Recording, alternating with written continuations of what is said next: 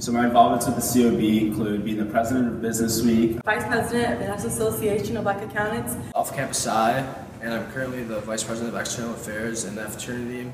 doing tours with prospective students, sharing my experiences.